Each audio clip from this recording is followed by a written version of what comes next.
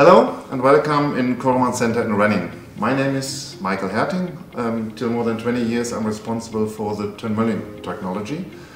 And uh, today I'm joined by Heinrich Flau from Janus Engineering and on the other side we'll find Thomas Feind um, from his product manager from uh, NX Cam. Welcome here in Renning. Yeah, thank you very much, Michael, and to Sandvik Coromant for this invitation here, and that also jo uh, uh, Engineering joined us here to be here to testing out a new operation type, which has been released now with NX 2212, and we are happy to try it out here on the machine, and that we are here with the key experts uh, trying it out, and uh, yeah, bringing it over to our audience today, what we have developed. Yeah. Also, big, great thank you for having us here, for inviting us uh, from Janus Engineering. In the name of all of Janus Engineering, we'd like to um, appreciate that point quite a lot. Um, yeah, we are also pleased to see the new NX Cam turn milling operation that simply was released in the last few days. Yeah, turn milling is the right keyword here, um, Heinrich. um, turn milling. Michael, can you explain what turn milling is? What, what, what is this technique about? So what Yes, Can course. you please explain? Um, is a combination between turning and milling, and in some cases a very good economical alternative to the conventional method like turning or milling. Um, for example, you have unbalanced part. You have a, a, slow rotation from the component and a fast rotation from the tool. Well, it's very advantage. Better chip control. You have a milling process, short chips and so on. So this is the advantage of turn milling, and in, in the most cases it's a good alternative when you have problem with the normal um, stuff. Okay. And what kind of work part material can be uh, manufactured in that way, and what kind of topology or what kind of um, geometry does the workpiece have to have for that? um, whatever you can turn or mill, you can turn mill. It, either. No, it's, it's the same thing. So you have a milling operation, this is an advantage in some cases, and you can put it together on one machine. So uh, we're much more flexible than with only a turning or only a milling operation. It's the flexibility which is the most advanced thing in turn milling operation. Okay, cool. Um, Thomas, back in NX 1980, yeah. Siemens released a new operation that was called rotary roughing. Mm -hmm. So why is there another, or better said, a second operation that is concentrating on, on a similar uh, manufacturing strategy? Mm -hmm. Happy to answer this to you, uh, Heinrich here. So in, you said uh, already correctly in 1980 you released the rotary roughing, which is already a turn milling application or a turn milling operation where you can machine cylindrical parts, how Michael explained it. Um, so the difference between both is the complexity in this uh, application. So the rotary roughing uh, operation type can be used for fully cylindrical parts, but also for segments on the surface.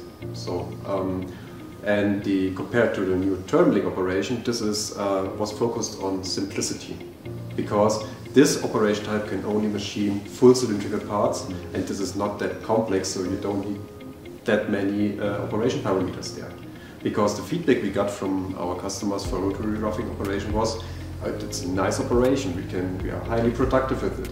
But if you want to have just a simple cylinder, turn milling a sim simple cylinder, it was too complex. They had to ask some experts and uh, need to be instructed in, in that. So therefore we decided, hey, let's make a simple one.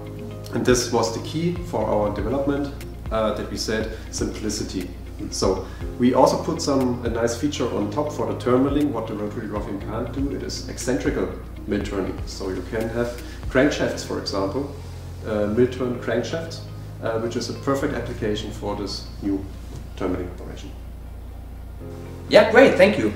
Thomas, you mentioned that it's not that complex to work with this new operation, with this new turn operation. Mm -hmm. Maybe you could take a moment and show us how easy it is to yeah, get it done. Yeah, sure. I'm happy to do so. So, we have introduced the turn milling operation type in our mill rotary templates. So, um, as you can see here, it is the very first operation in the selection here for the users. Uh, directly besides the rotary roughing operation where we talked about. So uh, it is easy for the user then to maybe start with turn milling for a pre-cut the part and then uh, do the final yeah, finishing or the final segments over there uh, with the rotary roughing. So this is how we integrated it here and offered it to our customers or for the users. So um, let me show you an example of an operation. We have here a part um, with a turn milling operation programmed on it. You see we go over the cylinder. Um, so we make a rough cut above the uh, cylinder. And uh, let's have a quick look into. So uh, what we see here is the user uh, just needs to specify the tool. As usual, you need an operation. You need a tool in operation. Makes sense. so then, uh, quite easy for the user. He needs to specify the um, the axis of rotation around which axis the workpiece rotates. Then the user can specify the machining range. So in a radial or an axial uh, limit.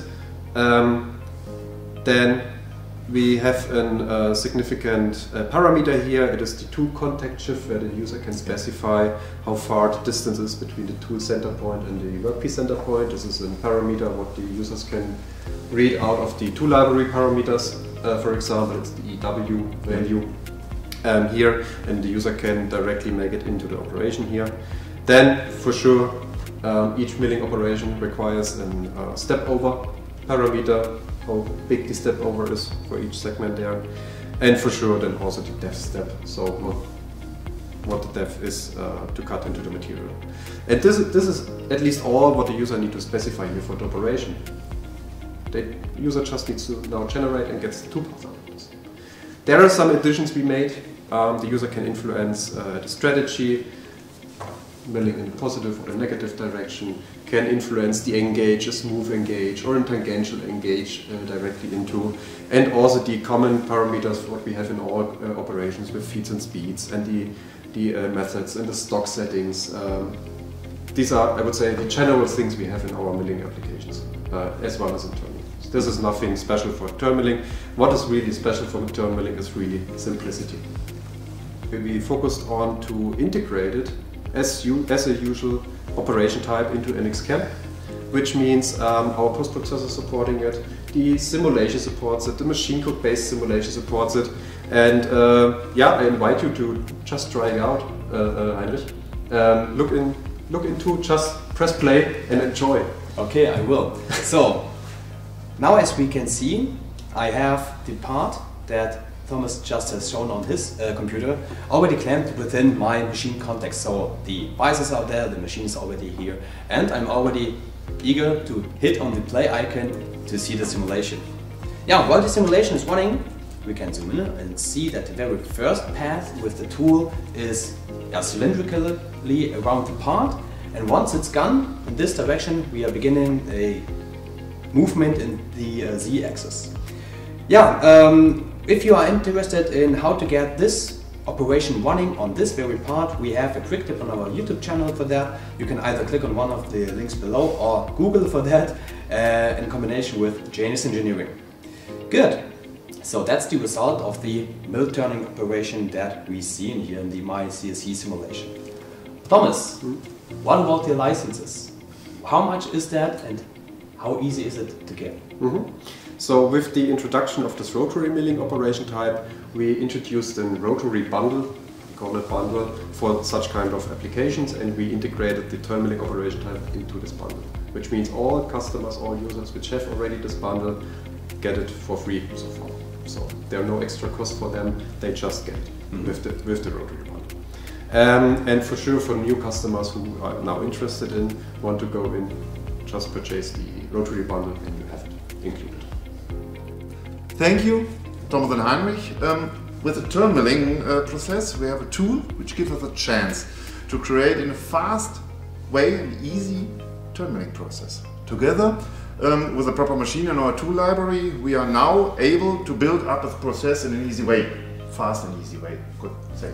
So thank you for being thank you for being here, and yeah, okay. nice to have you here. Thank you very much also that we had a chance really to uh, try it out, to present it here to our audience today, together with Heinrich, together with you, that we were on the machine, that we made the trials, and it's really a good solution in my opinion. And yeah, a big thanks, many thanks also to Sandvik Coromant that we had a chance to, to make it happen here. And yeah, looking forward for next projects. Last but not least, I also would like to appreciate um, the project that we have at, uh, in here. And yeah, we are already looking forward for our future projects and we might realize with you guys. You're welcome. Thank you. cool. In this spirit. Bye. Bye. Let's make it real. Janus Engineering.